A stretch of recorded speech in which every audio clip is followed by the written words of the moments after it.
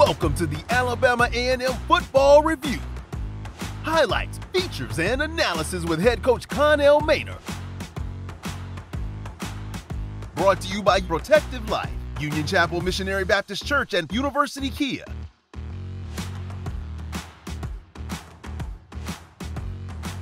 Good evening and welcome to the Alabama A&M Football Review with head coach Connell Maynor. I'm your host this evening, Ted Dixie. Coach, the Bulldogs go down to Tallahassee, Florida. Hadn't been there in decades since the old SIAC days. Bulldogs come up a little bit short though, Coach, but tell us how did you like that initial visit to welcome FAMU into the conference? Well, uh, I didn't like it too well because we, we took a L, but we knew uh, that's a hostile environment. It's hard to win there. They was on an 11 game winning streak at home. Right. So we knew they was going to fight, and uh, we knew they weren't going to give up. We had a lead on here last year, and uh, they was able to come back and, and uh, get a win.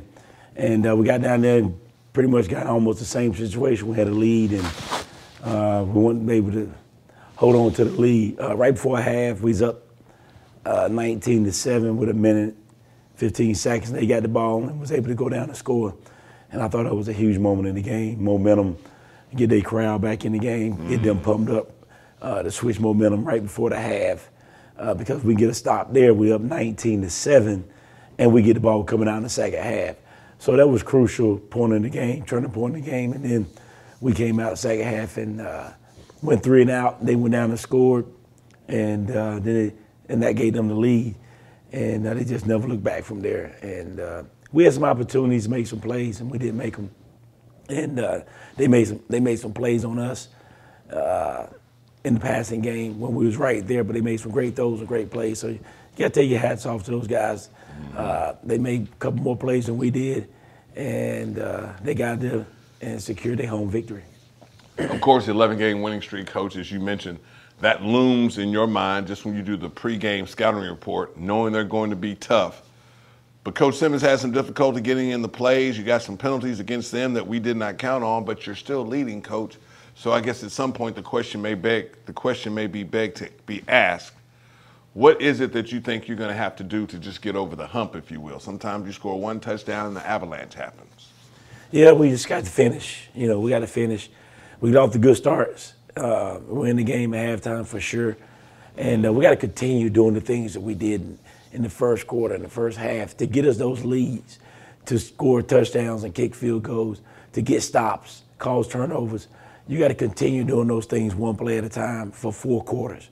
We're doing it for two quarters, three quarters and a half. We have to do it for four quarters. Uh, it's not rocket science. You got to keep making plays, continue doing the good things that you've been doing that got that get you in that position. We heard Coach, and I mentioned my Coach Simmons calling the plays. Your offensive coordinator, Dwayne Taylor, calls your plays. But do you ever have any interaction when that happens? Like, do you hear the play call, and maybe do you suggest calling something else? I hear I hear all the plays, and uh, every now and then I, I, I will give a suggestion, mm-hmm. uh, not a suggestion to call a different play. I will just give a suggestion of a play, and uh, you know, Coach Coach Taylor's a great offense coordinator. When he gets in a rhythm, I don't want to mess his rhythm up and make him call a play because he know what he wanted. He's trying to do, what he's looking at, and what he's setting up. Okay. And uh, if you if you've been a coordinator, mm-hmm. you know good coordinators do that. They call mm-hmm. plays to see what defense is doing, to set up other plays, and so you just won't don't want to call random plays. Okay. And so I'll suggest a play that I think may work, and let him think about it and call it where he wants to, or even try to set that play up too. So uh, he calls uh, probably 99% of the plays would say this week, Coach, coming up in the homecoming, we'll speak more about that on the show. Maybe a lot of pressure or more pressure on yourself this week than normal? Well, we need a win. We need to win in the, in the worst way. Um, and no better way than do it at home and on homecoming. So we got to go back and uh, go back to the drawing boards and uh, really look at special teams, what we're doing, our substitutions, uh, offense, uh, execution and getting that ball and taking care of the football. I think if we take care of that football uh, Saturday night, we got a great chance of winning that football game. But we didn't take care of the ball, gave them some momentum turns, and gave the uh, defense short fields. And so we can't do that right now. We got to take care of the ball, continue doing little things. And defensively, too. You know, we can't give up a touchdown with minute 15 seconds left in the half. Right. Uh, right. and and and we got to avoid the big plays. You know, we got to do a better job of avoiding the big plays and make people grind their way down. I think our defense is good enough that you got to run 12, 13, 14 plays. Mm. You're probably not going to score mm. So uh, we know we got, we know where we at, we know what we need to do. Now we got to do it. Of course, the Bulldogs get a chance to do it. It's homecoming week. Make sure you check the traffic advisories as you go up 231, 431 past the hill, past the very new and exciting event center that will be opening shortly. When we come back, we'll talk more about FAMU and the Bulldogs here on the Alabama A&M Football Review with head coach Connell Maynor. Bulldog fans, the Alabama A&M Athletics Department is calling on you to help our student athletes. The Bulldog Strong Fund focuses on our student athletes by encouraging competition, during this global pandemic, competitive excellence takes on a new definition for our Bulldogs. This fund enhances our efforts to ensure our athletic department can service each team to become a prominent national competitor in all aspects of NCAA Division I athletics. Donation to the Bulldog Strong Fund will be used to cover student athletic scholarships, supporting recruiting efforts, and creating additional health and wellness initiatives. We're under tough and challenging times, but with your support, the Bulldog Strong Fund will thrive. Donations of all sizes make a huge difference and are greatly appreciated. Visit aamusports.com to learn more about the Bulldog Strong Fund and how you can donate now. Thank you in advance for your continued support of Alabama A&M athletics and our student athletes. Go Bulldogs!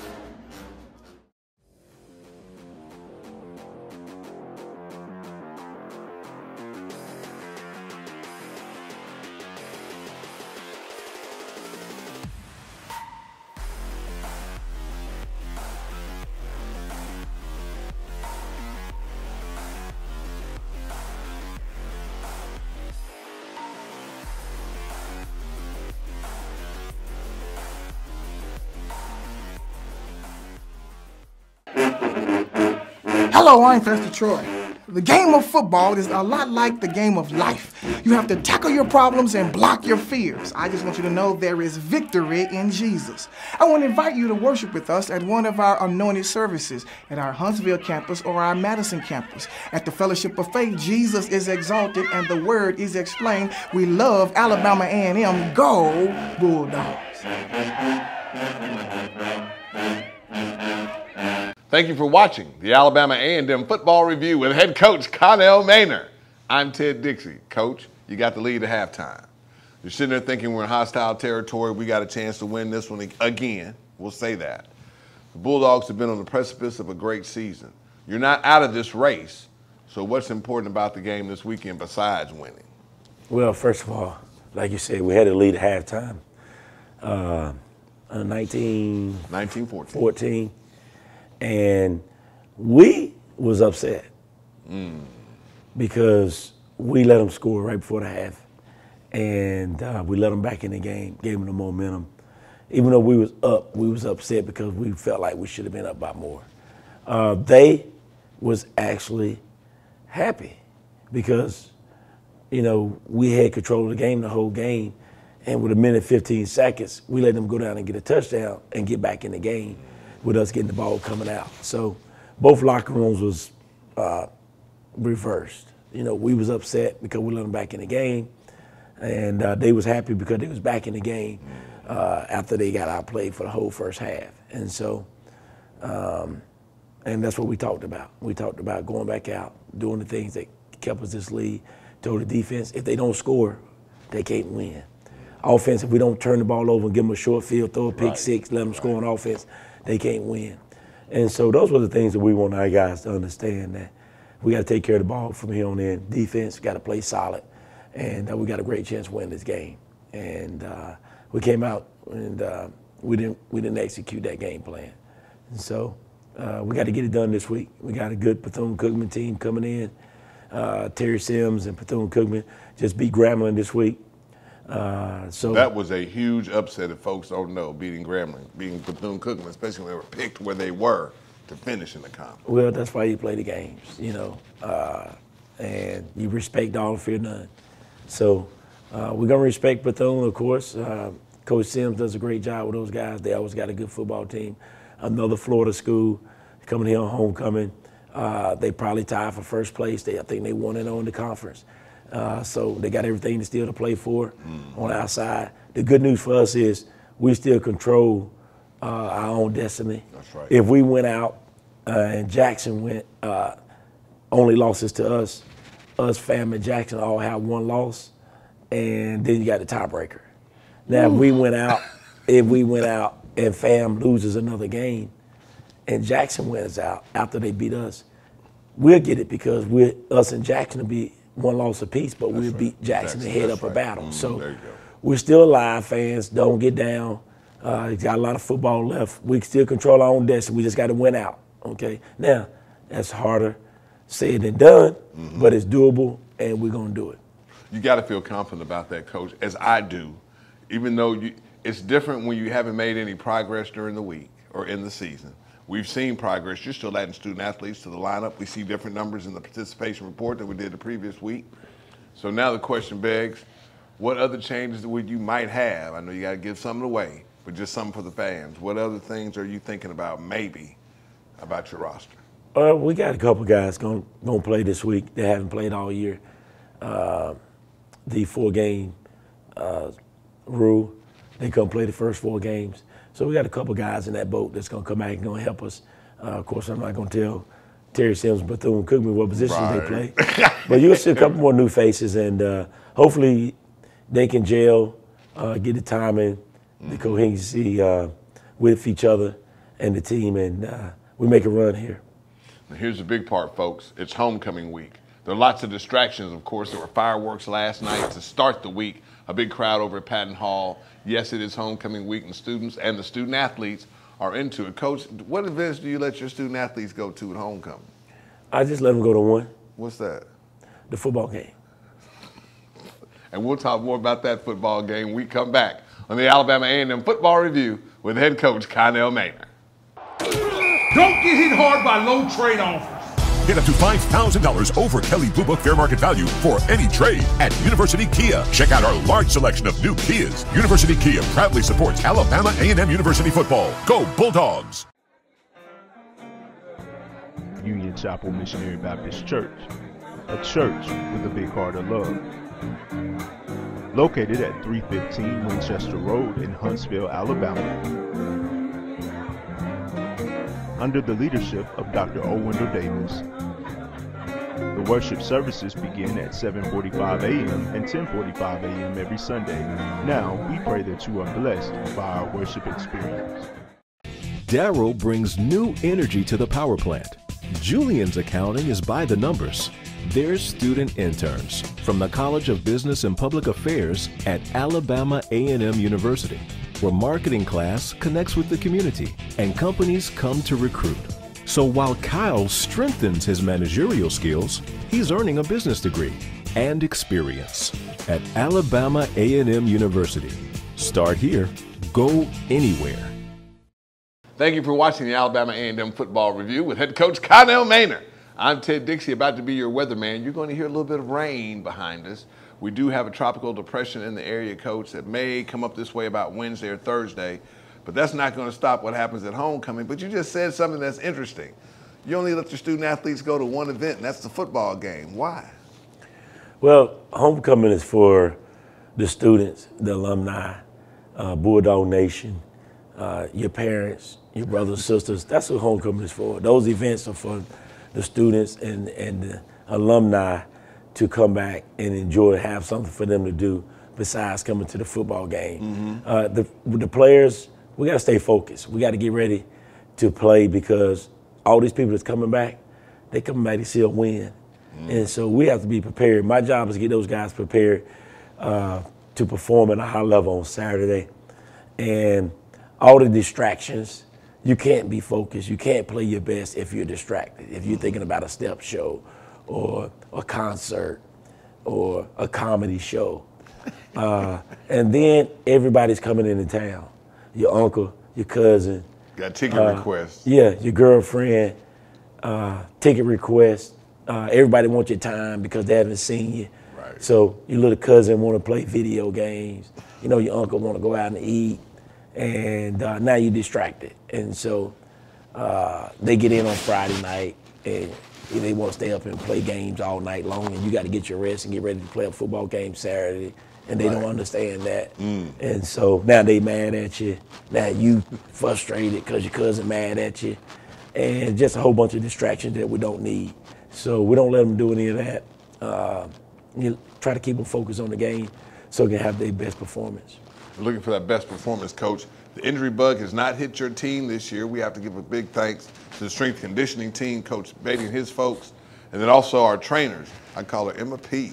And keep your folks on the field. Yeah, they're doing a great job. Uh, we got we got some guys that's banged up, but not out, and uh, you're gonna have that. You play uh, when you play football, football. coach. Yeah, You it's don't- football. You're gonna have bumps and bruises. Got to put some tape on it, uh, especially when you play up early. You play a couple FBS football programs that's bigger, faster, and stronger, and so they can kind of wear you down a little bit, beat up on you. Uh, but our guys expect that it's football. Everybody's in the same boat. Other teams got people that's banged up, ankles, elbows, and We complain, but your student athletes never complain about a schedule. Oh no, no, no. We're not gonna ever do that. We're gonna Never we're gonna that. play the schedule, and uh, they understand it's a rough, tough game, and uh, it's a physical game. It's not pool, you know, it's not table tennis. You know, it's football. So um, they expect that, and uh, they know they got to put some tape on it and play through it. Of course, Coach, you didn't see Coach Spady at the game. Um, we want to send our wishes and prayers to the Spady family for a quick recovery for him and also for comfort along that way. But without any kind of motivation on the other side of the field other than winning a ball game, now, Coach, you get a chance to refocus this weekend, folks. Is homecoming on the hill. Bethune Cookman comes to town. Kickoff is at 2 o'clock p.m. I would advise you to be on campus by 12. Yeah, it's gonna be it's gonna be it's gonna be hectic. You know, I think um, not HBCU game day. Somebody else is gonna be on campus also shooting for for this uh, weekend also. So it's gonna be a lot of people. Uh, yeah, you might want to get here a little early than you normally do, so you can find your good part, get in the stadium, and uh, be ready for the game by two o'clock. I'm going to add something to that, folks. The energy was just different last year than the outcome we wanted. But to see those stands full at the kickoff, coach, that sets a whole different stage for a ball game. It does, it does, and it really gets the guys pumped up, fired up, ready to go. Uh, seeing that 12th man and the stadium packed uh, when those guys run out. Um, so I want you to come out and support these guys. Uh, they deserve it. Uh, they'll be prepared, and you'll get a good show. A little bit more about Bethune Cookman. Last year, when we went down there to Daytona to welcome them to the conference, even though the score wasn't indicative of how much in control the Bulldogs were, but we're going to expect Bethune Cookman to try to make some noise after coming off beating Grambling. Yeah, I mean they riding high. They want to know in the conference, um, and so they looking to go two and zero and um, and try to get try to win this conference. That's that's what you play for. Everybody's That's why you practice. That's That's, right. everybody's goal, and they're in good shape. They control their own destiny. That's right. So um, it, it's going to be a battle. We look forward to it. It's going to be a great football game. So y'all get your tickets and uh, come on out and watch a great football game. It's not only homecoming on the hill, it is an elimination game in the Southwestern Athletic Conference, the most competitive conference in the football championship subdivision. We'll talk more about that game and close out the show when we come back. The Alabama A&M Football Review with head coach Connell Maynor.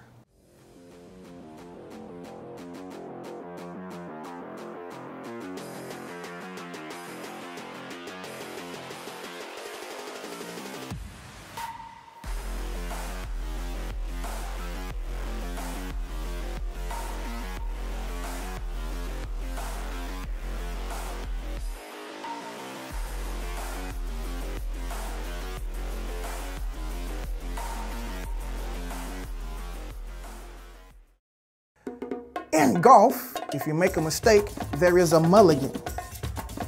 Well, in God, if you make a mistake, there is mercy. Aren't you glad God has mercy for your mistakes? Hello, I am PT, Pastor Troy. I want to invite you to come and worship with us at the Fellowship of Faith, where Jesus is exalted and the Word is explained. We love Alabama A&M. Go Bulldogs! Bulldog fans, the Alabama A&M Athletics Department is calling on you to help our student athletes. The Bulldog Strong Fund focuses on our student athletes by encouraging competition during this global pandemic. Competitive excellence takes on a new definition for our Bulldogs. This fund enhances our efforts to ensure our athletic department can service each team to become a prominent national competitor in all aspects of NCAA Division I athletics.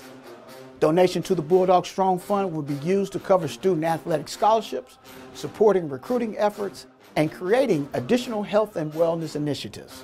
We're under tough and challenging times, but with your support, the Bulldog Strong Fund will thrive. Donations of all sizes make a huge difference and are greatly appreciated.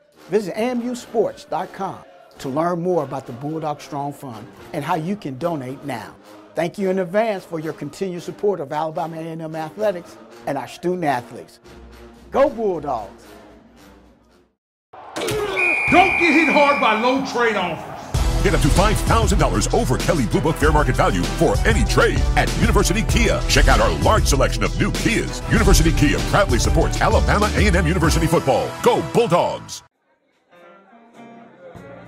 Union Chapel Missionary Baptist Church, a church with a big heart of love. Located at 315 Winchester Road in Huntsville, Alabama. Under the leadership of Dr. O. Wendell Davis. The worship services begin at 7:45 a.m. and 10:45 a.m. every Sunday. Now, we pray that you are blessed by our worship experience. Companies hunger for our food scientists. Here, a new generation manages our cities of tomorrow. The discovery of hardier plants, healthier animals, is growing at our research station, Alabama A&M University, where new designs and ideas are put to the test. Be a researcher in our labs or a forestry fire dog in our fields. Alabama A&M University. Start here, go anywhere. Welcome back to the Alabama A&M Football Review with head coach Connell Maynor. What do you do homecoming week? You either wear maroon or wear your Divine Nine Greek paraphernalia, whatever they want to call it. But coach, you just want people in the stand.